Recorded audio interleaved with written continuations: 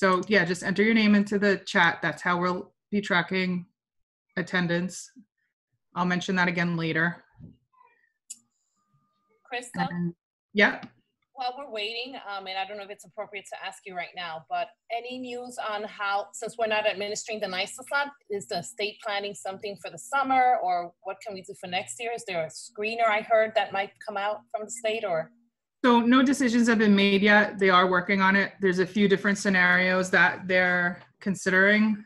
Oh, great. Um, yeah, we're not really sure what's going to happen. I, you know, everyone's figuring this out as we go along. But they are thinking about it, which is good. Yeah. Thank you. So,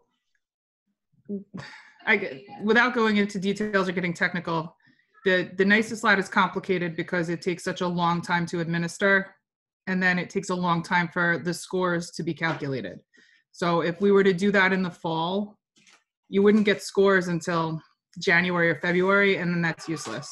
So they're I know they're think trying to think of some creative ways to address the situation and you know as soon as we hear more we will definitely share it with the field right away um, so in the meantime i'm going to start our presentation um, while heather is finding helaine and we might go out of order a little bit for our agenda but that's fine so in the meantime um, if i could just ask everyone if you are not already muted to mute yourself um, where we'll take some questions at the end. As we go along, you can put them in the chat and we'll try and address them. So the first thing I wanted to do is walk you through our website. We've made some updates and some changes if you haven't seen them. Um, There is, you should be able to see our website now. You know, there's I'm sure you've all seen the emails about our Tune In Tuesdays, which are very successful. Um, we are putting the videos of the Tune In Tuesdays online. We now have a new page on our website. Our website's kind of weird.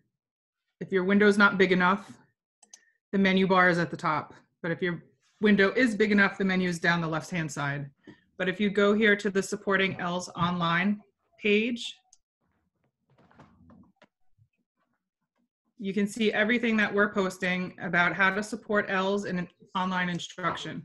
That was not 30 minutes. Um, we have Tune In You went Tuesdays. down at, you went down at 13 after.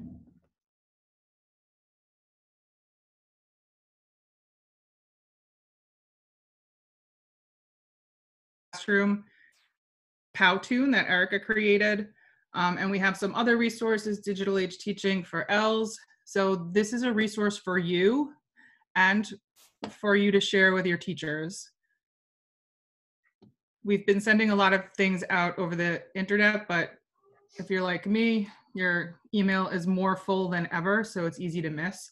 So we'll send it again after this meeting. The other thing I want to point out is if you go to, you know, from our website, you can register for all of our events. And we've just rearranged it. So let me see if I can find it here. Online PD registration. Anytime we have something coming up, it's gonna, we're going to do it through my learning plan. As usual, it's the easiest and quickest way for everyone to register for events.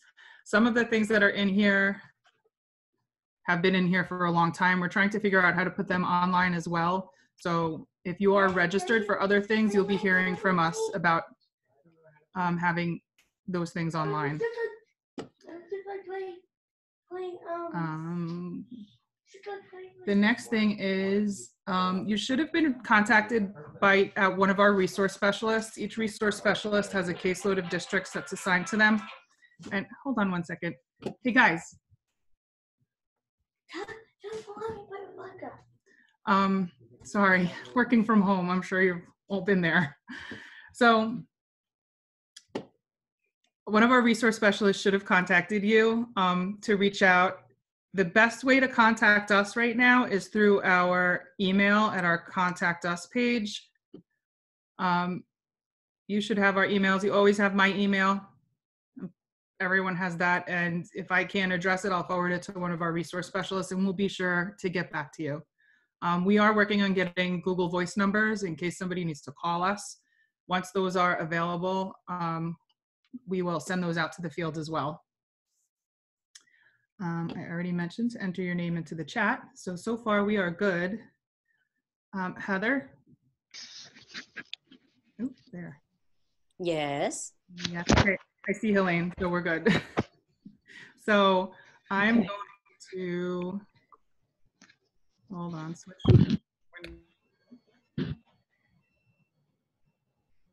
We're gonna switch over to our next presentation, which is Helaine Marshall, who will be talking about synchronous online flip learning approach, also known as SOFLA. Helaine, I love how much you love your acronyms.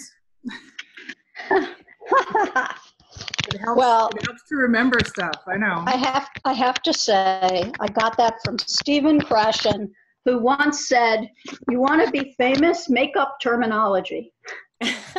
Beautiful. And I, I have to say, we, I have to tell everyone how lucky we are to have Helaine presenting on this topic at such an important, important time in our education uh, world, right? This is what it's all about. Um, we are, by uh, virtue of this virus, required to be teaching online only, which is unusual. And um, if you're familiar with flip learning, Helaine is the expert. And, and Guy, I believe you have a little bio. Uh, I you'd like to introduce Helaine, and I have the distinct uh, uh, honor of, of having presented with Helaine and working with her. She's really uh, an incredible expert. We're lucky to have you. Thank you, Helaine. And Guy, I give it over to you. Thank you. So many of us already know that Dr. Helaine Marshall is a professor of education and director of language education programs at Long Island University Hudson campus, where she teaches courses in TESOL and multicultural education, primarily online using the SOFLA model, which we will have an opportunity to work with today. Her research interests include uh, leveraging instructional technology in education, culturally responsive and sustaining education, and non-traditional approaches to grammar instruction. Did you get help? Her most recent book just published is Meeting the Needs of SLIFE, a guide for educators. So once again, uh, Helaine, thank you so much for joining us, and the floor is yours. Okay, thank you very much. And uh, I need to uh, share my screen. Okay, great.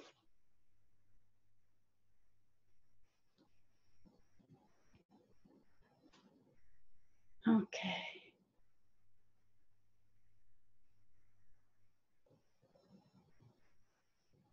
All right.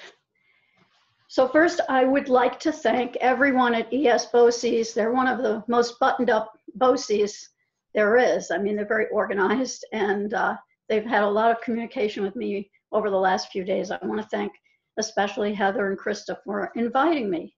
And, um, and Guy, uh, I guess that it's okay, everyone seems to call you that. so uh, I want to thank you for all the behind the scenes work that you've done uh, to assist me as I got ready for this presentation. Okay, so um, so this is called uh, SOFLA, and uh, it's the synchronous online flipped learning approach. And so what I'm going to try and do here today is give you what we used to call, when I worked at a BOCES, when it was called a BETAC way back when, we would call this kind of a one hour an awareness level. So remember, we're not doing deep dives into any of this. It's an awareness level. So this is to give you an idea of what this model is and whether you might be interested in, in working with it, trying it. Uh, and- but it's not going to give you um, that tomorrow you can jump in necessarily. Uh, although some of you are so experienced in what you've been doing, you may be able to have very few speed bumps as you go forward. All right, so our first step is to take a poll. Of course, we're in Zoom, right? We got to do polls. So the first poll is coming up and please respond. And I have to ask you to be, of course, honest. Tell the truth.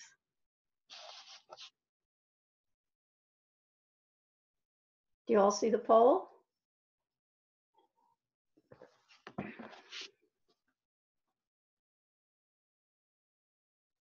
So we're getting responses. It seems everybody is able to see it. If you're having any trouble, just give me a, a note in the chat window. There are going to be several polls, so it's, it's worth making sure that you're up and running to do the polls. And as soon as we get a reasonable number, because we have limited time, even if we don't get everyone, we're going to show the results.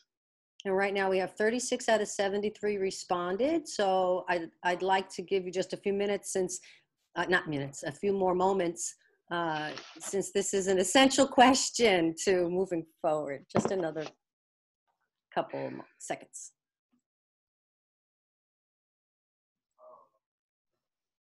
All right, it seems like we have 50% of our uh, viewers have voted. So I'm going to, um, I'm going to end the poll and share the results.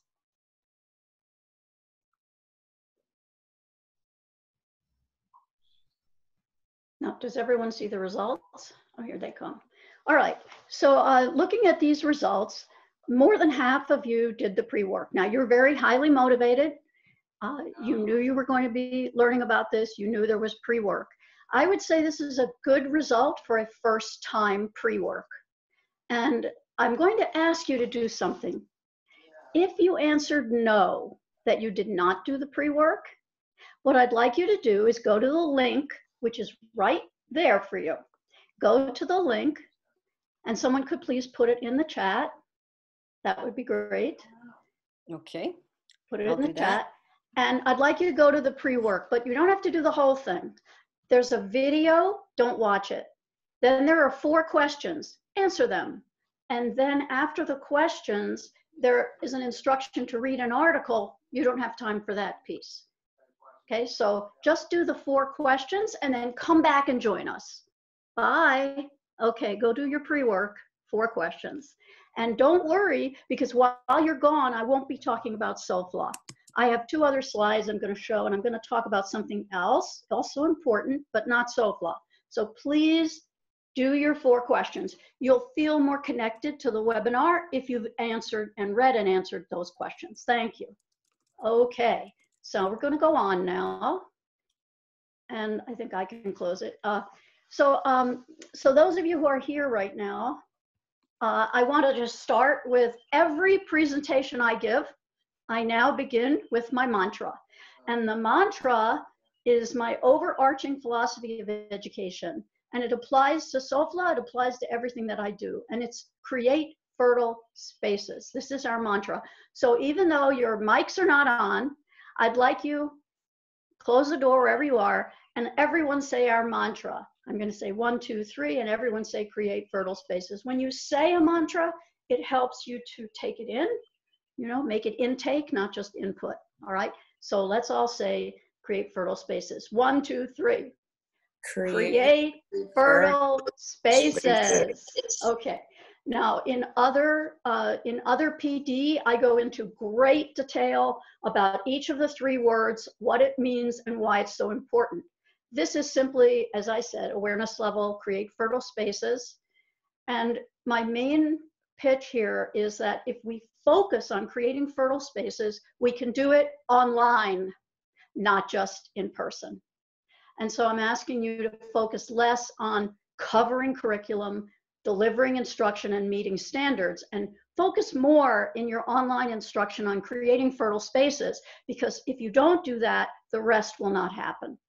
And then I have my four E's, equity, enrichment, engagement, and empowerment. Those are the four E's. And again, this is not a session on that, but I wanted them to get a chance to do the pre-work. I will show you the basic slide of my four E's, equity being only the beginning, which just gives access. That's not sufficient for our L's. We need to give them enrichment. That's why the deficit model is so damaging. They deserve guest speakers. They deserve exciting projects. They deserve all the enrichment that we can give them and not just the bare bones education because that leads to their engagement and motivation. Then they're more active in their participation and we want them to be active, not just passive, all right? And if they're active, they'll feel empowered and they'll feel ownership of the learning experience, which is our ultimate goal, okay? So there are the fertile spaces. And now I think we can welcome back everyone. thank you for going to do the four questions. You're back, and now you're ready for the second poll. Now, the second poll is important because it gets at prior knowledge. So, everything that I'm doing today, I'm doing for you as the audience so that you can experience SOFLA. But remember, when you are your are teaching, you want to do a similar set of polls. Did you do the pre-work? And then getting it prior knowledge. So this is the prior knowledge poll. And in our case, it's flipped learning. In your case, it would be something about the past tense or something about making requests or something about the curriculum uh, in a subject area. So you want to get prior knowledge. Please answer. Please answer the poll. What is your response?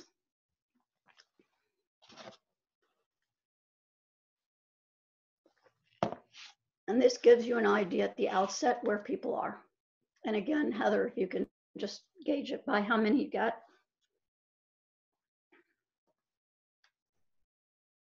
While you're doing the poll, I'd like to mention about the pre-work. It's very important to insist on the pre-work, but not be punitive. If you're punitive, you're ruining the model. So what you want to do though is be firm and eventually peer pressure and fear of missing out, FOMO, will eventually get them so that they will do the pre-work because that's a major concern of teachers. Uh, if you give up on it, it won't happen. Okay, do we have enough? Uh, you're muted.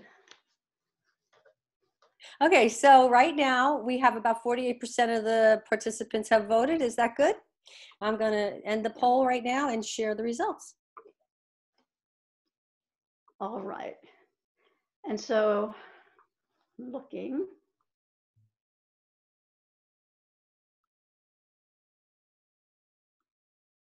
Sorry. I'm looking for the results. Is that something I should see now? Yeah, Okay. it's uh, right now it says I am sharing. Has it popped up yet? Do people see the uh, results of the poll? Yeah, I had this problem. Uh, I'm doing a lot of these.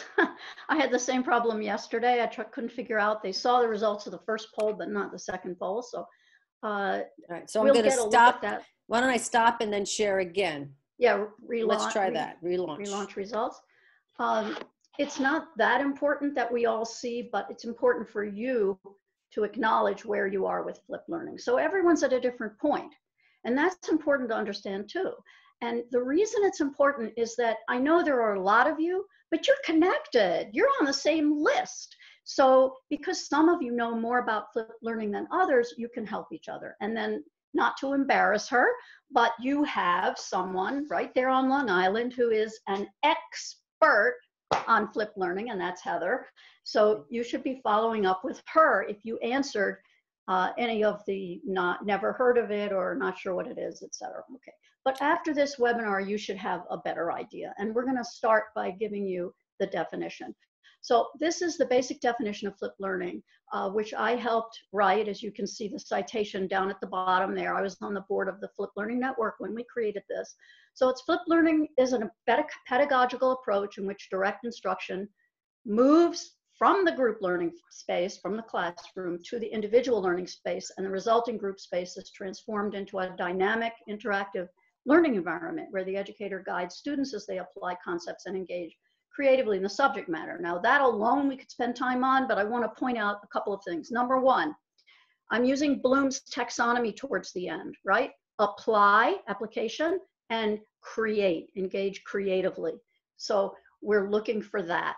I would add, if I were writing it today, I would add in the first section about direct instruction that also direct instruction, which you're farming out to outside of the classroom as your pre-work and your assignments, that direct instruction should also be transformed into a dynamic, interactive learning environment. And that's what I'm going to show you today. And on the right, you have the four pillars. Uh, and if you, uh, if you go to the website of the Flip Learning Network, oh, I didn't mean to hit stop share. I did that again. That's something I do now and then. Okay, I'm going to do share again. Uh, you go to the website of the Flip Learning Network, and you see their definition, or our, I should say, definition. And in addition, they have a they have a checklist of indicators. All right, you can see on the left, they're too small to read right now, but you go to the website. And uh, I would just say that I have added informally uh, under learning culture, which you're going to learn about in a minute in PlayPosit, I've added a third indicator, which is to create fertile spaces, digitally, cognitively, psychologically, etc. Uh, so these, these are the indicators. It's a great checklist for flipped learning. Okay. And then I have to find my share controls. There we go. And I'm going to go back to my PowerPoint. Okay. All right. So now we're going to do poll three. One more poll here for you to respond to about your online plans. So if we can launch that.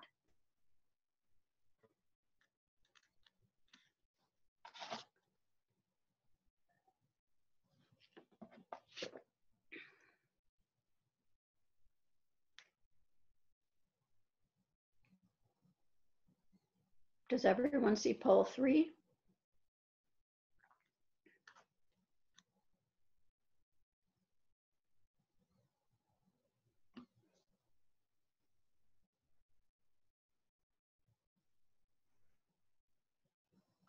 You want me to try and launch it?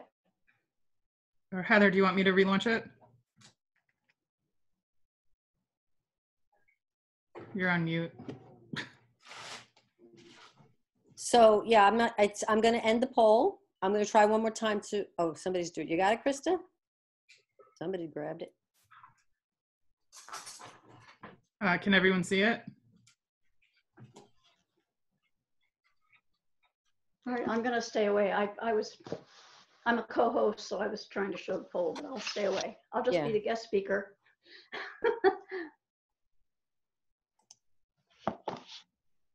So we know that Zoom has been um, amazing, but ac- like Helaine had said, we actually ran into this ourselves um, at another meeting where, for some reason, the Do you want me to try or?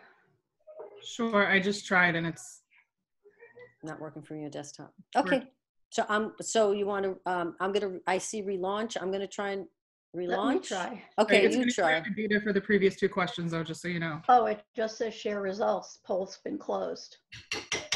Someone- Okay, let's do this one in the chat.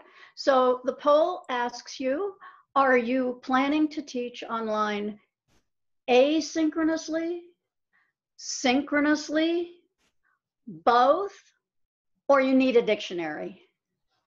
Those are your choices. So please, everybody write down your choice and we'll crowdsource the answers later, looking at what people are putting. Uh, and uh, it looks like many of you are going to say both. I would just like to put in a word that so many people say synchronous is too complicated, too tricky, not that important. And I hope by the end of this uh, time with me today that you are convinced how important it is to have synchronous communication with your students, particularly in any in any situation, but particularly with your K-12 uh, population. So, So and I'm seeing. the- Yeah, I, I just so you know, I'm seeing a lot in the chat about uh, people doing both. But I did see an interesting thing. Uh, one comment that dis- the district doesn't want them to go live at this time. Um, yes, so yes, I've the- heard of that because of various issues that have nothing to do with pedagogy. And I, I understand that. There's a, you know, I'm always thinking, I'm, I'm always thinking of the pedagogy first and the other considerations, work it out, figure it out, okay? So, um, so I understand there are issues that um, may prevent that, but you might be able to do some kind of a workaround, even if you meet synchronously with one student at a time in a confidential setting. It's very important to maintain the personal connection. You see me, you hear me, I'm your teacher, you know me. That is priceless, priceless, even if it's a 10 minute check in each week. How are you? Okay, we need to move on, but thank you for that. I understand. And I should say that uh, one thing that's important here is what the webinar is and what the webinar isn't. Okay, so um, I'm not actually focusing on English learners today, except for one or two slides at the end. I'm trying to teach you a model, a template. And the idea of this template is you can apply it to any situation, including PD. I heard Christa say earlier that you're taking your PD, and I'm doing this with another BOCES too. You're trying to put your PD online. And if you do that, SOFLA can help you. Uh, so this is a model of delivering online instruction that if you do all eight steps will be very effective. But you are already knowledgeable about the content and the methodology that you use in teaching.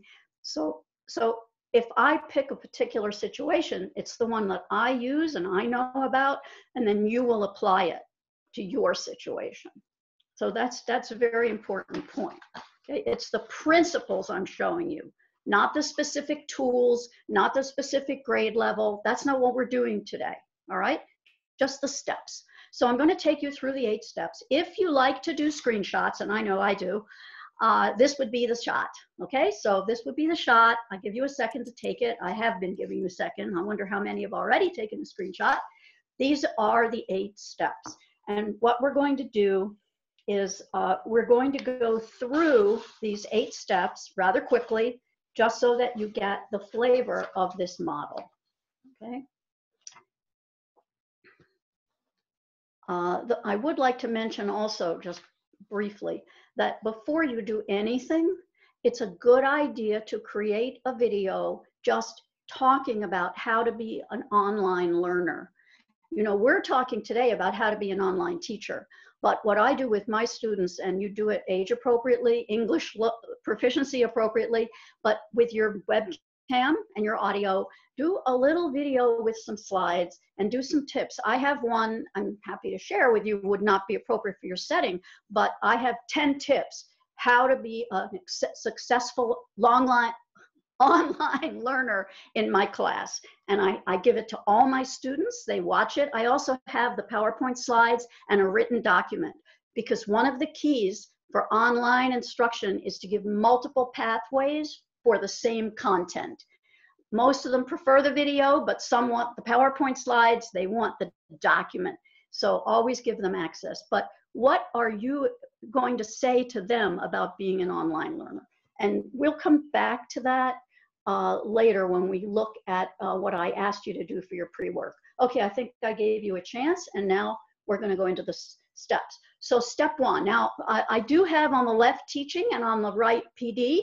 I don't always do that, but I know that this is an RBERN uh, sponsored presentation and many of you in your districts are doing PD or you you have strong teachers who are doing PD. And I know that RBERN does PD. So I have that on the right. Okay, on the left, the pre-work, what I do usually is that's my direct instruction. That's my lesson, okay? And I'll show you at the end a slide that gives you many, many more options of what you can flip besides the actual content direct instruction, because that's only one of many options. But for now, this is when you flip outside of class. Whatever you flip, you want it to be targeted with embedded questions and activities. You don't just go, oh, blah, blah, blah, blah. They'll go to sleep, they'll go off and do other things and answer the phone. So you want to make sure that you're engaging them in a way that they will be interacting. Then you take the data and you download it because you've asked them questions. So you use an application. I'm going to show you one, but there are many more. And Heather is very well versed in this kind of things. She can take you down the, that road. Uh, but the idea is to get data and you want to analyze the data before you see them so that anything that was very clear, you don't need to worry about, except maybe there's one student and then you can meet with that one student. It's very effective to do this. And then you looked at the ones that were not clear to most of the class. That's how you start your lesson when you come in and work with them, okay? With what you need to clarify. Now for PD, I don't need to talk about it uh, too much because we, we're doing it, we did it. But the video was to introduce me. Uh, I asked you questions to get your current thinking and how much you knew about the concepts we'd be doing. And I gathered some data to figure out uh, what you were expecting from the, from the training. And that's very valuable because I know a lot of you put things in your pressing issue, which is very important, the pressing issue that we're not going to talk about today at all. So it's very important to me to be able to clarify for you what this is and what this isn't, because one person is not going to address all your needs. What I'm giving you is a template with eight steps. There are other people who can work on the many issues you cited. But asking pressing issue is a very effective way, much more effective than saying, what topics would you like to be trained on? Okay, we know what topics because that's the pressing issue list. Also, when you ask them one idea they already have, that was my second one. I think I have this on a, on a slide next, coming up. Um, I'm just gonna go down to this slide and I'll go back. Uh, I asked you one idea, you can crowdsource that together because everyone who answered the pre-work came up with an idea. Look at how many ideas you now have that you submitted to BOCES and they can work with those ideas and share them out. Um, then I asked you your experience as a learner because again, as I said before, you want to think of yourself, what, what do I want my learners to be doing that's going to help them? And if you think of yourself as a learner, that's a starting point always put yourself in that situation to help to help your students then uh, know what to do okay? So i asked you what you thought would help you as an online learner. Put always get the other perspective not always look your teacher hat get your learner hat. And then where are you located? Well it's good to have just a personal question and i like sometimes to make one of those word clouds and find out you know where most people are. Uh, some of you put long island that's okay. Um, it's not as specific but uh, anyway, we have that data. I live in White Plains. I guess you gathered that. Okay. And then I did want to get what you took away from the reading. All right. So that's the pre work. Now I want to go back to PlayPosit. Uh, this is what I'm going to show you now.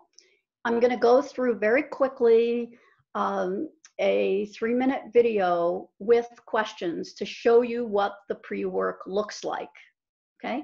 You're going to be answering in the chat. But if we were doing a longer version of this, which is a totally separate uh, training, if you wanted to learn PlayPosit, it, it's it is complicated.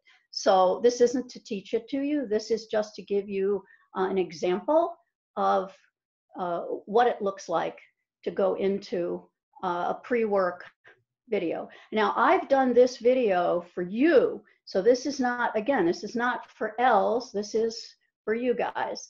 So that's the whole point of it. Uh, and this is PlayPosit. It's like anything else. You have an account and uh, I have classes. You can see my grammar classes there, but I have a flipped learning class, which we're gonna go into. And I have a longer version of this, but this is the three minute one. It's got little edits in it, so it's not perfect, but I wanted to give you a three minute, all right? So here we're gonna do the three minute. We're just gonna preview it and bear with me as we go through this. I keep looking at the clock and talking faster and faster. Okay, so here we go. All right, and you should. Video lesson you hear it? on Just flip give me a learning. yes. And this is your guide to creating a learning culture. I'm going to make it learning. fast. Learning culture is one of the four You can change the speed in learning. PlayPosit. You can slow it And down I'm for your L's. You can make it faster. guide. You can So make let's it look at the learning culture pillar. Here are the tenets of the pillar. First, that in a traditional model, the teacher is primary in terms of the source of information. But in flipped learning, we shift that instruction to a learner centered approach. And so class time is more dedicated to exploring topics in much greater depth, and it creates learning opportunities that are very rich for our students. Students become more involved in constructing knowledge, and they participate actively in class and evaluate their learning in a way that is personally meaningful. So we're going to take a look at all of this, taking a deep dive. And here we go. Now, I hope you paid attention because here's your first question. first. Ready? Answer the question. We'll just do it by A, B, C, D. So the first one is A and so on. What's the correct answer, everyone? Come on, let's go. Put it in, A, B, C, D. what is not true. And remember, we have to teach ELLs. This is the kind of tricky stuff that we love to do on standardized tests that not, but we're not doing test taking strategies today. Okay, most of you got the answer, which is B. Now watch what happens. You answer B, then you sit, hit submit. Until you hit submit, you know, you don't, you don't see, and then you see correct. And I always say why. You know, people say, oh, correct, move on. No, why is it correct? Why were you correct? Critical thinking. And if they get it wrong, I tell them why. And they see what the correct answer is. And after they've done that, they hit continue. And only then do they get to see the rest, the next thing that comes along. Teacher talk. So the research shows that 65 to 90% of class time is teacher talk. This can be from directions and procedures, explanations and clarifications, or feedback and evaluation. So take a minute to self assess and think about your own classes. Okay, so what do you think? Teacher talk in your class. How much is teacher talk? The point being that in flipped learning, it goes way down, and you'll see. Give a percentage in the chat. Let's go. We want you to be active learners on modeling interaction and activity. Let's go. Be honest, guess. It doesn't, it's not that important, but just guess. Just give me a percentage. All right, you know what? I'm gonna go with a general flow here. I'm looking and a lot of you put above or below 50, but let's go 50. Submit, and there it's a poll. It's not correct or incorrect. It's for, for me to get an idea of where my students are with that. So we now continue. Our next concept is hand raising. There is some soft data on this showing that 80% of the time, 20% of the students are hand raisers. Either they're answering display questions, in other words, they know the answer, or they're providing unsolicited contributions to the instructional conversation, something they feel they want to add or say without being called on, or they raise their hand to ask a question. This could be about directions or about the content. Uh, so take a minute and think about the extent of hand raising uh, in your classes. All right, so what percent of your students raise their hands in general? What percent? Think about now you're doing face-to-face, your regular instruction. And the point here is that in online instruction, everybody, you can have everybody answer everything. You don't have to worry about raising hands. And uh, you can have them participate like I'm doing right now. Everyone's answering in the chat. Okay, so a lot of the quieter students participate both synchronously and asynchronously. You get much more participation. So a lot of you are going with the 20%. Usually the groups that I work with go a little higher, but you're probably being more honest. So I'm gonna hit submit and then continue.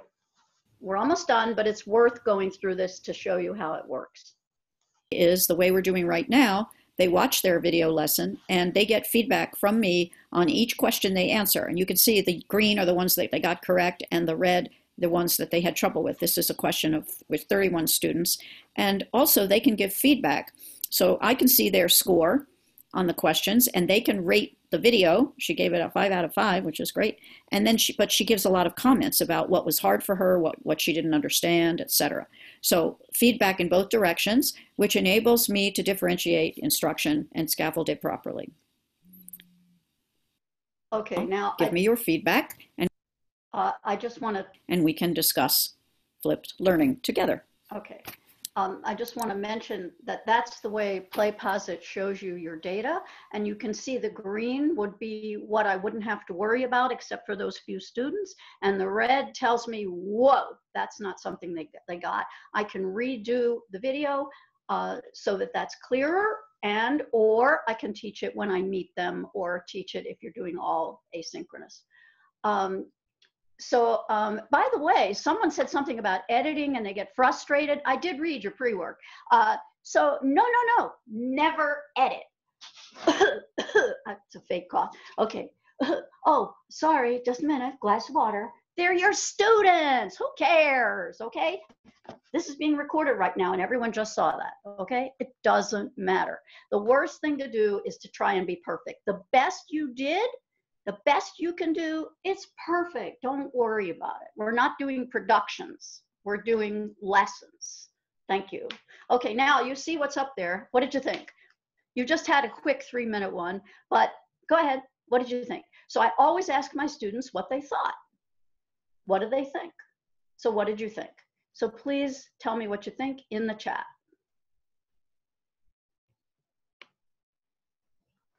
Come on, let's go. I can't tell if people are their connection or their, okay, we're getting a lot of liked it, so I'm gonna click liked it. And then the last piece, it didn't work yesterday. Yes, okay. The last piece is for you to say something about it. This is where, if you saw that student, she said, Oh, this part was great. I really understand it now. This one uh, wasn't so clear for me. So, everybody, just put, you can just put in the chat any reaction you have to the three minute demo of PlayPosit about learning culture pillar in flipped learning. And then whatever you put in, there's no there's no data that comes from that. That's anecdotal data that I get from every single participant. So you can put that in the chat now. And I'm just going to put uh, thank you because I was the one that made it. I don't know, just put thank you. Okay. And then we're done. Okay. And that's how you do um, PlayPosit. So now I'm going to get back to my PowerPoint.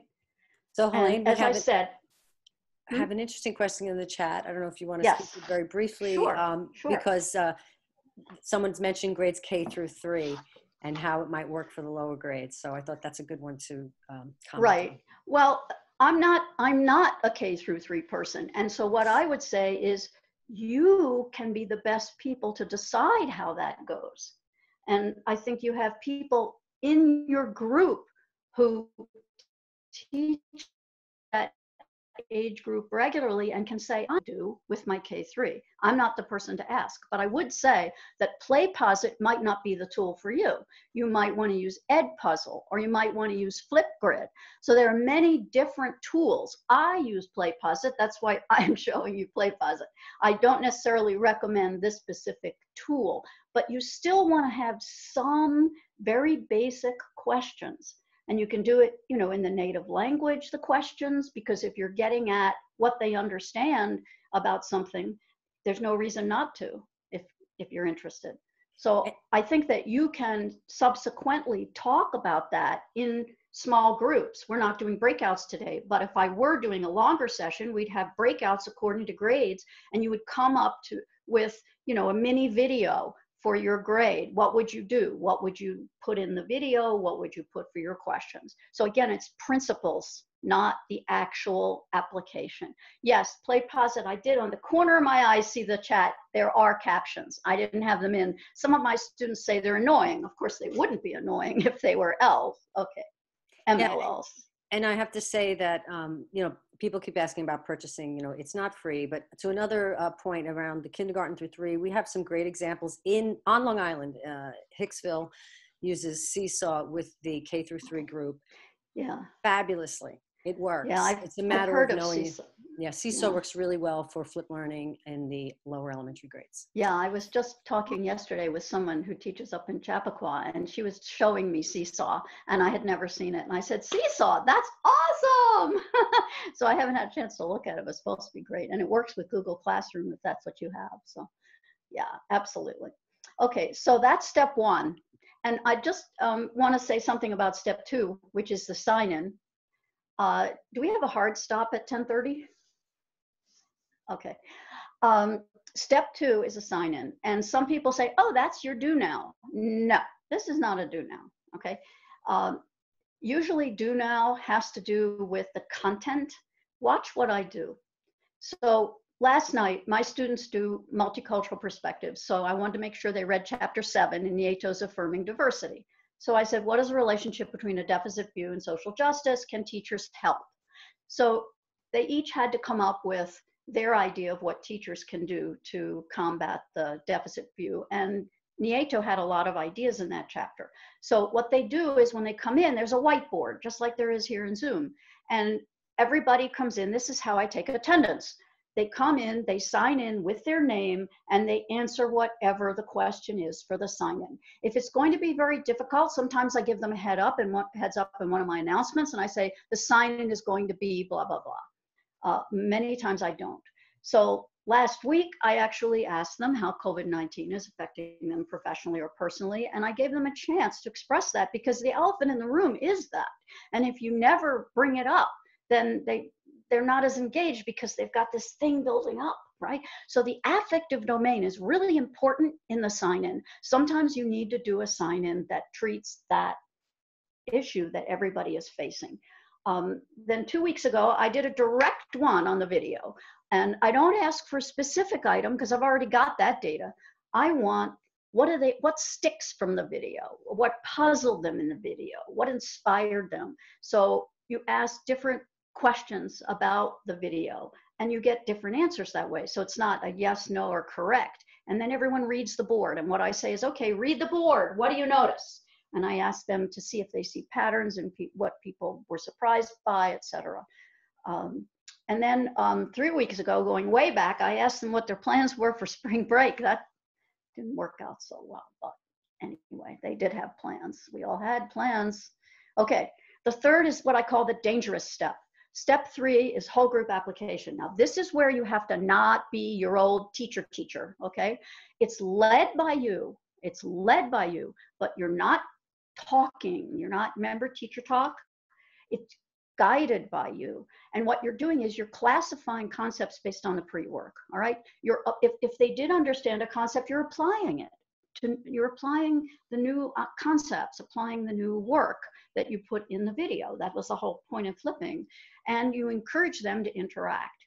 And you can use the whiteboard, the chat box, the audio. So in my class, I'm doing something in second language acquisition. We were contrasting natural language acquisition, structured based classrooms, and communicative classrooms.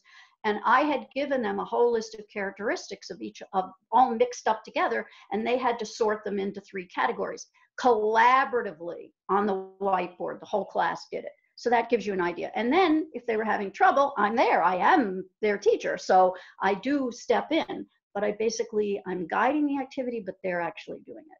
Sorry. Okay, let's go to the next. So step four, I don't need to say a lot about step four because, you know, you already know. And this is one of the points I'd like to make here about online is that you're not starting from scratch. You're educators. And so much of what you already know and you already do, you need to transfer it to online. So I'm trying to give you some ways to transfer it, some structure to make it work. But a lot of it will transfer beautifully. And group work is one of those things because you can have them in breakouts. And you can even do this asynchronously. You can have them, and I've done that, you have them break into groups and work separately. And then they can come back into the whole group and share what their group came up with. All of that can be done asynchronously. Uh, I do it, you know, in my actual class. But you have a jigsaw model, you have the same activity model, and the accountability is there because you can get the names of who is in each group. Last night I had one group was very strong, they came up with a lot, and the other group said, well, we didn't write much, but we had a really good conversation. So, you know, but anyway, and you can visit the groups, okay, as you can asynchronously, obviously, but synchronously too. All right. You can get individual names. You can ask for when they come back from the group, for them to speak. Uh, you can have a spokesperson, or you can say, I want everyone in the group to say something. You're teachers, you do what you want. And then as far as grouping, that's totally teacher's choice, right? You know about grouping. I'm going to just skip that. Who needs to tell you guys about that? Okay. Depends on the audience for the detail I go into. All right. Uh, I'm not going to spend a lot of time on this and kind of kind of skip it. Um, but I was going to show you a peer instruction video that one of my students did on pronouncing the past tense, the three pronunciations of past tense. But, um, but what I do, and this may not apply in your case, but peer instruction is another option. And I thank um, my colleague Carolina Rodriguez uh, Buitrago for pushing me to do peer instruction in my grammar class. So each student has a tiny piece of grammar and they prepare a video lesson and questions and I and I and a quiz at the end and it's real instruction but I do it as part of the breakouts so they're not scared because they don't have the whole class there they just have a breakout I can tell you much more about the peer instruction component. It was mentioned in the articles if you read the articles, but I'm going to move on so that we have more time. Then they come back and they share. All right, again, this is your pedagogy. You can make a choice of how they share, but it's very important after breakouts. And again, you know this. You don't just send them off and then say, okay, everyone back. You have to have some reason that when they come back, they're accountable to share. That's important. And one of the things that I notice in peer feedback, and I just went to a webinar yesterday where I felt like they fell a little short on talking about feedback. They had the feedback sandwich or bun or something like that. Everybody likes that. I think that's too evaluative, and I don't care for that approach. I like the shack. And uh, this again, I'm just telling you the shack. I'm not going to go into it today, but it's my colleague, uh, uh, Khalid Fethi. He's actually from Morocco. We have a wonderful project we do together called the International Film Club. That's something else to talk about someday. But it's share, help, ask, comment. So you tell the students you have different things you can do to give feedback in a blog, in a wiki, in a discussion forum. You have an option to share an idea that fits with what the other person said. You can help them with something that you think maybe they need a little help with. You can ask them a question, or you can simply give a general feedback type of comment. And I found that when students have just enough structure, they participate more in feedback. You know how the feedback is always kind of, how do they give feedback? They're not teachers. They're not like you. They need to be taught how to give feedback. And it really makes a, a big difference to use Shack. Okay, uh, so next is step six. Now, a lot of people skip step, step six, I mean me, because they run out of time. Like I did just now, running out of time. But um, because I like to go into things more and then I run out of time. But I try to do this because if you don't do the preview with the discovery activities, they're less motivated to do the assignment and you want them to do the assignment. So you look at it together. You don't just give an assignment if it's a book you look to the book you put it on online you know most books you can put there and you look and you say well you're going to be reading this. So what do you think about this? And then of course they won't know because they haven't read it yet but you get an idea of problems. Pop it's like a problem posing all good old Freire okay and I see um, it's being recorded, so you're okay. I understand you have to go. So um, you introduce new terms and concepts that they're going to find when they do the assignment, all right? And you're motivating them. You're getting them curious and interested. And also, what I do do use it for is assessing their prior knowledge of the upcoming material. Okay, so that's really, really important. Okay, and now we come to step seven, which is a reflection page. I always ask students to reflect at the end of class, not just here's the assignment, goodbye, but what sticks with you. And I, I, this is not an exit ticket. You know, some people say, oh, they, she does a do now and an exit ticket, but online. No, it's not an exit ticket because what this is, is something that sticks with them. Again, I believe in the what sticks method. Everybody had takes something different away and let them do it on the whiteboard and they all see what everybody took away. It's collaborative. We ought we talk about collaboration, but do we do it? So here we are. Reflection page is collaborative, and I always post the sign in and the reflection page and the breakout results all go up online on your platform so they can see it. Okay, and it can it can relate to anything. Just to one or two sentences. They have to reflect. They can't just say, "Great class, learned a lot." I erase it if they do. I say, "Nope, sorry and then they learn very quickly. um, and then we post it. All right, so there it is. That's, by the way, free to use or share. Can you believe that picture is free to use or share? I only use free to use or share. There's only one picture in here that wasn't, and I had to use it because it was so awesome. I don't know if you can figure out which one, but I do believe in the licensing. Okay, last thing is the assignment.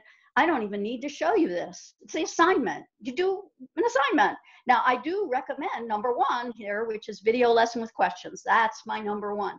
But I also assign readings and blogs and wikis and blah, blah, blah. Okay, assignment. You don't need that from me. Follow up is just for your PD people. So I always do this. This, this is a list for PD. So if you're interested for PD, you can go back and look at my PowerPoint that I'll make available, and you can see all the possible PD uh, um, follow-ups. All right, but it is important to follow up. If you're doing flip PD, you have to follow up. You don't just say goodbye. and give them their credit or their hours or whatever. Um, I threw this in. Uh, this is something that came through on a presentation I did for ELLs. I noticed in your pre-work, so many of you are concerned about ELLs, and I know that, but I my focus was, again, the template. But remember when I said you don't just flip the content, the direct instruction? So this slide, again, if you want to do a screenshot, go to town, do your screenshot. Uh, I'm not talking about it. it's a different presentation. There are like 10 million presentations built into this one. And this is the other one. And um, Heather and I uh, were planning to do this at TESOL. So hi TESOL, sorry you were canceled. We'd be presenting today, but you never know. Okay. All right, these are the four questions. And again, I'm not taking time, but these are the four questions to ask when you flip, uh, whether it's SOFLA or not but this is on SOFLA. So I just wanted to give you, those are the key questions. Nothing to do specific to ELLs, but just this is the best practice when you're thinking about flipping, okay? So out of class versus in class, comprehension and retention out of class, interaction and differentiation in class, and accountability in both. That's it in a nutshell. That's what you need to be able to think about. Um, the final poll, because we are done, and I didn't go that far over, if you consider that we had trouble with some polls, because I did time this. Okay, so now um, will you take poll four, please? And um, I did put a, uh, a quote, which we probably can't see at the moment. So I do want you to reflect, just like I said, we're doing the modeling of the model, you know. So I'm asking you to actually reflect. So there's a reflection. If you go to Google Docs, uh, go, there is a reflection and you will, uh, there's a, oh wow, that's a long one. Okay, and you're going to go over and reflect. It's very quick, please do it. It's important. Now I'll, I'll make it competition. The people I trained yesterday, 35 people, 15 did it. You can beat that. Come on, guys, do your reflection, okay? Yeah, and so I am going to provide a, a shortened, a bit.ly link, a shortened URL, and we will email it to all the participants. Um, so I, I know this link is, is too cumbersome. It was a hold, a Okay. space holder in the poll and, and Okay. never replaced Actually, with I have short. it on the next, on the next slide, I think. Okay. Okay, so a lot of you are going to do it later because you're very, very busy folks. Somebody said, forget about it. Fo- One person, that's very New York, right? I think someone I had from Pakistan yesterday didn't put, he thought it probably meant I might forget about it. but I meant it in the New York way. That's an interesting lesson for me. Okay, uh, do I have one more slide? This is your reflection, and there's the bit.ly link. And thank you. I really enjoyed working with you guys. I can't wait to read the real chat, the whole chat. thank you. Goodbye. Thank you so much, Helaine. That is an amazing amount of information that I think is so relevant in these times. Um, so I just want to thank you again. I, I can't uh, tell you enough how much we appreciate you sharing this message. And uh, I know everybody must have so many um, qu- follow-up questions and i just want to say that you know we're here for you and this is going to be we're in for the long haul this isn't going away flipped learning isn't going away online synchronous asynchronous blended learning is- isn't going away so we're going to work at this thank you so much helaine for your time we really appreciate it Yes, everyone in the chat welcome. window is sharing their appreciation as well Okay, thank you. I One enjoyed it. thousand percent. I just want to underscore that. Thank you so much, Helaine. We, there's so much to unpack here and I'm scribbling notes away and looking things up while you were talking. So I'm, I'm going to have to rewatch it and see what little tidbits I missed as well. Um, and I just want to remind everyone, if you haven't, if you joined us a little bit later and you didn't put your name into the group chat, that's how we're t- tracking attendance. So just write your name in there if you did not do it earlier. Um, and okay, wait. I'm gonna take the screen back over. And now we're gonna switch to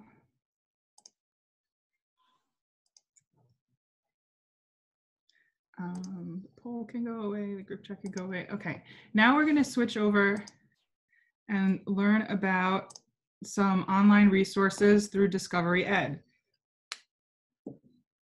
Gaetano, I believe you also have. Right, right. So it's a pleasure to introduce Ann Weiss from Discovery Education. Um, so they have a subscription uh, to online resources that they've made available, and she'll talk about that and, and show that in, in shortly. But just a little bit about Ann Weiss. She's been in education sales here on Long Island for about 15 years, and she lives out here on Long Island uh, with her three children and her husband, who's a middle school teacher in New York City. So uh, Ann is a senior manager for education partnership at Discovery Education. And she's really thrilled and excited to be partnering with districts here on Long Island to provide dynamic digital learning environments that improve student achievement. So now I'm going to pass it over to Ann. Ann, you're there. Ah, I was on mute. Yes, I am here. Can everybody hear me? Is that a yes? That's a nod. I see you. nod. Yes. All right. Great, great, great. So I'm very pleased to have a few minutes on your agenda today. And I do all, always highlight that uh, I live here on Long Island. I think that's kind of special because certainly at Discovery Education, I think in the uh, history of Discovery Education, no one has represented from Long Island. And I feel like it's all happening here. I do uh, have three children, uh, school age children in the district um, that I live in in Plainview. So uh, I love working with my Long Island partners and consider myself an advocate as well uh, for the partners. So I'm going to go ahead and share my screen.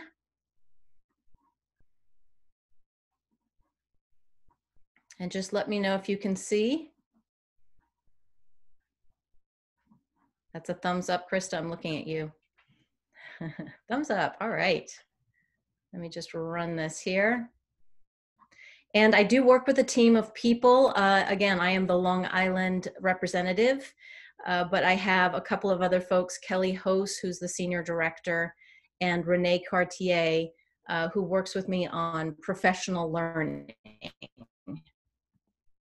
So I just wanted to give a little background, and I always start with a little song because the unknown thing that I didn't put in my bio is I was once a professional singer. Actually, I am a professional singer. So starting at the beginning, I sing something like, Let's start from the very beginning. It's a very good place to start. And then I get to ask you where that is from. Anybody? Anybody know where that little ditty is from? I'm going to say a Disney movie. Disney. Hmm. Anybody else? The Sound of Music. Yes, Christa, the sound of music. very good. So, starting at the very beginning, uh, Discovery Education is a natural extension of our parent company, Discovery Communication. So, some of you may or may not know that. Uh, and I'm going to guess that you have watched once, twice, maybe a thousand times some of the channels here from Animal Planet to HGTV. And what is new to Discovery Communication as well is the Scripps Network. So now we own all of the Food Network channels. And the reason I point this out is because we're able to leverage a lot of these rich resources and embed it into our service. And also importantly, we are a global company. So we live in a global marketplace and we are globally sharing something called the coronavirus. So you are certainly in good company in terms of the folks that we represent and the people that we are touching as far away as Chile, as far in the south as Chile, and we are also have a strong footprint in the UK. And we are working with uh, Egypt building their K 12 uh, resources with a STEM focus. We've been working with the uh, Egyptians for many years and will continue on that journey with them. So, to that end, we are touching roughly 50 million students, although that is expanding. We actually just brought on the New York City Public Schools uh, Department of Education, so they have access to our resources as well. So, we have to bump that number up a bit, and we're touching about five, uh, 4.5 million educators. Oh, let me see if I can advance the slide. There we go. Additionally, what we bring to our service is our corporate partnerships. So we do have uh, partnerships with like-minded organizations that we build resources on behalf of and embed them for free in our uh, resources that you're about to see. So from 3M to NASA, we have a wonderful partnership with uh, Major League Baseball. So when we talk about engagement for students, these are some of those resources that they can take advantage of. And this is just an overview of the digital resources that we offer. We do have something called Science Tech Book. I will mention that our tech books for science and for social studies are fully available in authentic Spanish as well. So right at the click of a button, you can create all that narrative is uh, transferred into authentic Spanish. Uh, we also have two different reading levels with our tech books. Today, we're going to look at Discovery Education Experience, which is our K-12 program. And free is good, right? We all love free. Uh, so one of the things that we've done to support our partners on Long Island, in the state of New York, and actually countrywide, is we are providing access for free to our Discovery Education Experience, which we will see in just a minute here. And I can put this in the chat, but or if somebody wants to put it on my behalf, you can simply send an email to education partnerships at discoveryed.com and let them know that you would like to sign up your district for free access to Discovery Education Experience. That access does go through the end of the school year, which we believe now is June 30th. Um, whether or not we go back to school, that access will remain. And of course, here's my email address. So let me. Uh, the other thing I should mention is that with our tech books, should you be interested in the tech book as well, we are also offering free access through the end of the school year. So Math Tech Book is a secondary tech book. It does not have Spanish translation, but it is very engaging and it has embedded uh, corporate education partnership um, information there. The science tech book is a K-12 resource. Social studies is middle school. So we're really looking at six through eight in terms of the content for social studies. So many of you whether you know it or not. It's because I've found partners that don't know that they are actually subscribing to Discovery Education Experience. So it may be living in your district, but perhaps you haven't seen it. We have gone through a major facelift. Um, Gaetano talked about United Streaming. So if you're looking at this now, you can see that this is your not your old grandma's United Streaming. We've actually given a major facelift uh, as of last summer. And what we've done in this uh, kind of overhaul is created what we call channels. So these channels have curated content, curated from our Discovery Education team uh, and from other educators across the country in which we have put sort of like as if you walk into a museum, you're looking at the best representation for medieval swords at the Metropolitan Museum of Art. That's the same curation that we've done with our channels. But before we explore that for a little bit, I did want to highlight one of the things in my uh, discussions with partners across New York is this standards tab, and this is probably the favorite tab. So I'm going to, I'm in a demo account that's shows all the states. But I can look here for the state of New York, and I'm in my standards tab. And if I scroll down to, this is the two, 2016 learning standards, and these are the New York Science learning standards here, and click this hyperlink. I'm going to drill into science. And you can see I have all grade levels here. When I click on grade four, I can expand the standards.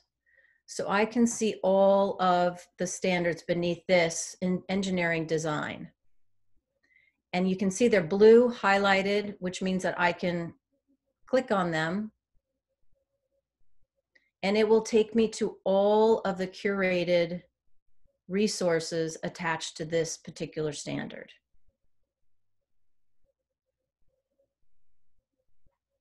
So I can look and you can see most of them will be videos, which is what we are known for, um, starting with United Streaming. But I do have interactives that students can explore. I have a text option for science. This is going to show some of these hands-on activities. Images, providing background for students associated with this particular standards, and of course, videos. This is, in this case, where the bulk of the resources are. And I show this to you from right to left instead of starting with videos to let you know and understand that we have multimodal resources. And this is a big differentiator with Discovery Education. We, it, this experience helps to differentiate instruction with multimodal digital content. Now this number is rather daunting at 781 videos, but you notice I have a filter here. And for EL students, it may be important to have closed caption video. So by clicking on this filter and closed caption, I then filter down to fewer videos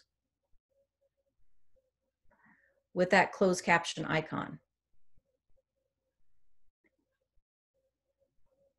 And let's open this video. This is about straws. I try to do my best not to use plastic straws. I do have reusable straws, which I hope is a lot better. Um, so you can see that we can play this video right here, and I have this closed caption icon. Hi, my name is Linda Booker, and I'm a documentary filmmaker. So this obviously helps students um, to access content in two modalities, both the visual and strengthening their language skills. I can segment this video so if I don't want to watch the 10 minute video, I can just segment in chunks. We've done this for you, created headings, so teachers can choose just that piece of the video that they want to show. But importantly as well for English language learners, we have transcripts for our videos. So students can watch the video and read here, but they can also see as the video is playing. and the excerpts you're about to see tracking in a from film that I created called Straws. In the film, I explored the history of straws, why we're using them, and they can search the transcript. So we can put in ocean, and the transcript will highlight with that word in context. So again, that's just one of the ways through our videos that we can support students. The video is downloadable. In fact, almost all of our videos are downloadable. So when we talk about uh, internet access or the fear of, well, I can't play this because it might uh, not be accessible, teachers can go ahead and download and pull that up offline. This content is assignable right here at point of use, or it can be shared through Google Classroom or uh, Microsoft Teams or Microsoft Office.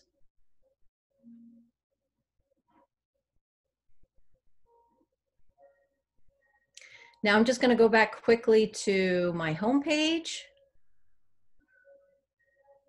and share with you some channels. We talked about channels being a channel with curated content that we have created really for um, cultural awareness as well as some great EL resources. So we have a channel about uh, regarding holidays, observations, timely events. And this is sort of channels within a channel, if you will. So we have a channel dedicated to Ramadan, which may be coming up. Does anybody know? Did we miss it? So within this channel, oops, we have content here, images and videos to elevate and celebrate this particular particular culture. So, Ann, I don't mean to interrupt you or cut you off, but we actually have um, someone from State Ed Ah, who's going to Yes, join no. us and talk about the seal of biliteracy, and I think she's on a schedule. yes. No worries. I appreciate the time and the opportunity. I'm going to put my email address or uh, in the chat and uh, the way that uh, participants can sign up for the free resources. And I know I'm going to be meeting with your teachers on Tuesday, some uh, of the teachers that want to learn about the resources as well. So Yes, that's right. We're having you back for our tune in Tuesday, which tune in Tuesday, correct? Fantastic. the 7th of April.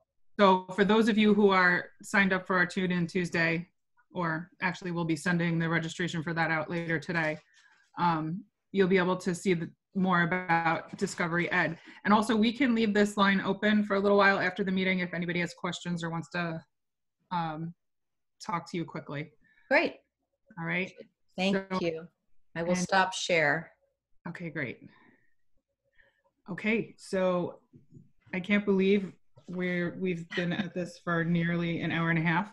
Um, um, I'm going to now introduce Candy Black, the Associate for Instructional Services at Office of State Education. De- Sorry, nice said Office of Bilingual Education and World Languages.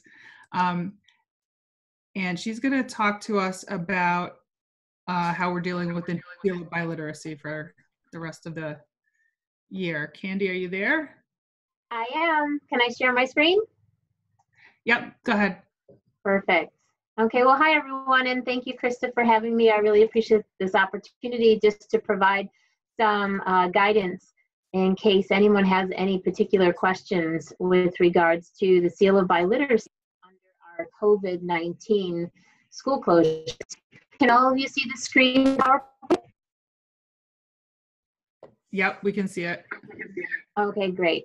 So um, feel free to chime in at any time and let me know if you have any particular questions. I'm going to just walk you through um, the main issues and then there'll be a little bit of time at the end if you have some additional questions. Uh, so that you're aware, the guidance document was sent out on March 24th and posted to the website to all schools that have already notified us that they intend to offer the seal this school year. And it's designed as an FAQ to provide guidance specifically on the COVID 19 school closures and how that may impact schools' ability to implement the program. So, the first question we've got is Can schools still offer the seal? And the answer is yes, as long as the students are able to meet the criteria to earn the seal, and that means three points in English and three points in a world language, then they can still earn it. We may just have to be creative about the ways in which they will submit the material or have um, their skills evaluated. Um, a big change this year was the inclusion of the culminating project notification form, which is one of the four forms required, and the deadline was set as April 15th. The purpose of this was to be able to sample about three to five schools per region, and there are seven regions in New York, so only about um, 20 schools total. That's less than 10% of the number of schools that actually offer the seal. And the idea was that I would be able to visit the school on a day when the presentations were being given to offer feedback and support to those schools in the culminating project process. Only schools that had offered the seal for at least two years were even being considered to be sampled. But given the extraordinary circumstances of our public health crisis, we are not going to do this this year. So the answer is you do not have to submit. We're actually asking you not to submit the culminating project form for this school year. And very logically, we will not be visiting schools um, to do these student presentations, but I would like to put the invitation out there. If you would like us to attend any video conference student presentations, I would be very happy to do so. And actually, I just did this in the Pine Bush School District over the last two days, and it was a fantastic experience. So this leads me to my next question is, given that students cannot be um, at school to give their presentations, can we conduct this via video conference? Yes.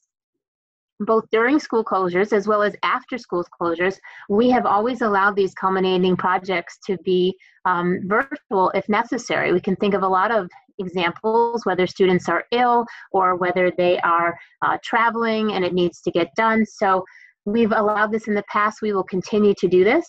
Um, ideally, this is through video conference so that you can actually mimic as closely as possible what a live presentation would be like, including being able to see that the student is not, say, reading the text as opposed to spontaneously speaking. Um, but if the student does not have access to video conferencing software, we are allowing these um, presentations to take place just over the phone. By the same token, we did request that as much as possible there be a panel of interviewers that evaluate student presentations and then speak to the students spontaneously after that. We realize that might be very challenging given school closures. So at this point, we're asking you to do your best. Um, and in some cases, especially with low incidence languages, this may mean that there would be only a single person who is interacting with the student for the evaluation. So again, do your best with this. Um, let's see, we want them to use audio and video whenever possible. Again, I talked about that already. Um, it's important though, if your school does move forward and use video conferencing or phone conferencing, which I guess we can put under the um, title of remote um, culminating project presentations, it's important to make sure that you're really identifying that all students who are candidates for the seal of biliteracy have been contacted and that you're making arrangements so that all students could potentially use this method in order to do their presentations. Our next question was, can SEAL candidates record their culminating project presentations and then turn in the recording? Uh, the answer to that is an unequivocal no. Um, unfortunately, this has several problems. One is it's an equity issue for students who may have access to uh, very high quality video editing and recording equipment. Um, two is it really doesn't allow the student presentations to be authentic in the way that a live one would. And third, and this is most important, it doesn't allow for the spontaneous interaction with the panel or the person interviewing. And this is a very important part of the presentation. It's that evaluation of the interpersonal speaking and listening skills. So no recordings will be permitted. Our next question was, should the SEAL request form and end of year data form, which are the of the four forms required for this, be submitted, be submitted, and the two forms, the SEAL request and the end of year form, um, are listed here. The request simply lists the number of seals needed by the school and the person to whom it should be sent. And obviously, that may be something than the school address. We're hoping by the time these are sent, we'll be back in school. The end of year data form is the Excel spreadsheet that lists the student ID numbers, some demographic data, and how they earn the seal by checking boxes in the criteria. Will the May 31st deadline to submit these forms be extended? Absolutely. I want you to consider that while we call them deadlines for the seal of biliteracy, they're really just guidelines. Um, so, for instance, the notification form was due on December 1st, and I've got them as recently as two weeks ago. So, we want to maximize the number of students and schools that are able to participate. So, if you are not able to meet that deadline, please don't fret. We will work with you to make it work. Um, if you are going to have it ready by May 31st, please do send it in. Um, if not, don't worry about it. I will be reaching out to anyone um, who has not submitted a form by the deadline and just saying, are you still doing this? And if so, when do you think you might get it in? Okay, there's no penalty at all. Can a school receive the stickers for the diplomas and the medallions without submitting these two forms? No. Um, the forms are required, um, although keep in mind that these deadlines are quite flexible. All right, so you have to have those in. Uh, let's see. Please keep in mind the lead time. It's going to take me about one week to process your form and mail the seals and medallions to your school. And of course, none of us know what the distribution of these are going to look like, whether you're going to be able to have a graduation ceremony. Um, but once you do know that information, please work back at least one week and make sure you submit those forms so I can get you that graduation regalia within a reasonable time for you to distribute it. Uh, my last question here is when is the earliest that steel seal stickers and medallions can be mailed? They will be mailed starting May 15th. So that is, there is no hurry in getting the seal request or end of year data form in because even if you submit it tomorrow, we're not going to start mailing those out until May 15th anyway. Uh, this is my contact information. If you'd like to get in touch with me, you have my email there, candace.black at nysed.gov. And you have my direct line, 518 473 7505 and I'll make sure that I send this presentation to Christa in case there is any after video conference communication. She'll be able to send that directly to you. And this information is also available on the website. So I am going to share. Thank you so much, Candy. If you have time, we have a few questions. Sure. So the first one, does the student have to sit for a panel presentation? We're making efforts to do it remotely, but there may be extenuating circumstances for some students. In other words, there has to be a phone or video, does there have to be a phone or video conference for the SBL to be awarded? If the student is earning two points from a culminating project, the answer to that question is yes. The project must be presented in a video, audio, or live presentation. I want to make another extension in that in in the unfortunate circumstance that schools do not go back. Uh, we're going to have to be creative in our solutions. But for instance if we have a scenario whereby uh, schools don't go back but uh, graduation maybe ends up being in august for ceremonies you can actually complete the seal work after the normal graduation date so if there's an opportunity to actually meet with the student at a safe time, you can do that as well. All right, great. So then there was another one from Alba who says, we were able to get our presentations in on March 11th, just in time. However, there are two students who never completed the AAPPL and the WPT writing. They are each missing one section. Can we proctor via Zoom to the best of our ability, or is it a question for Language Testing International? That's an excellent question, and we're going to leave it up to the district. Some districts are going to take advantage of the uh, virtual or artificial intelligence proctoring services that are offered by AAPPL or LTI. Um, I think these are $5 extra per student. This isn't a requirement by the state. Schools can do that if they want.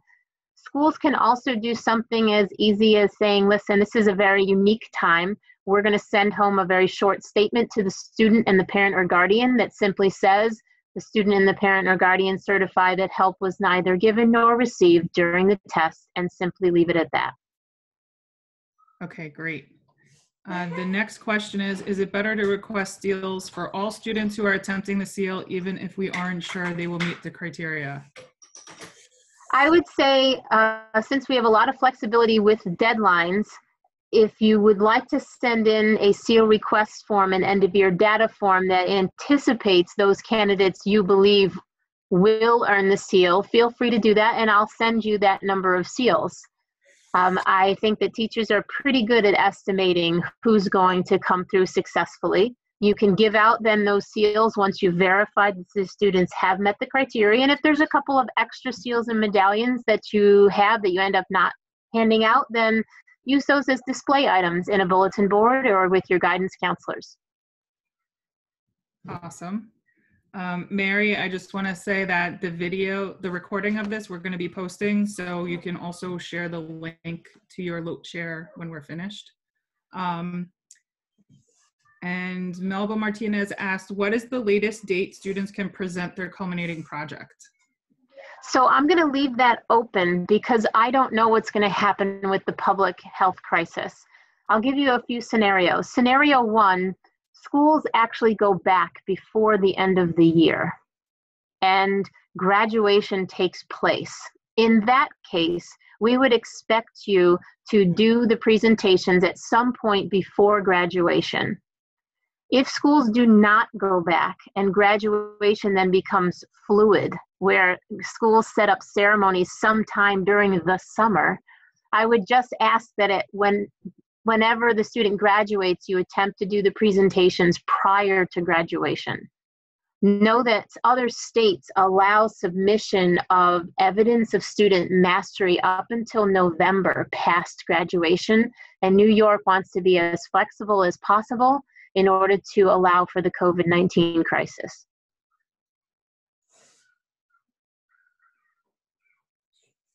Great. I think that's the end of our questions.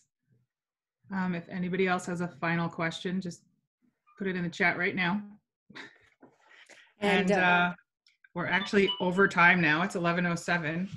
I want to thank everyone so much for uh, joining us today and for um, joining us virtually here on the internet. Like I said earlier, it's really nice to see so many faces because we're all so isolated now.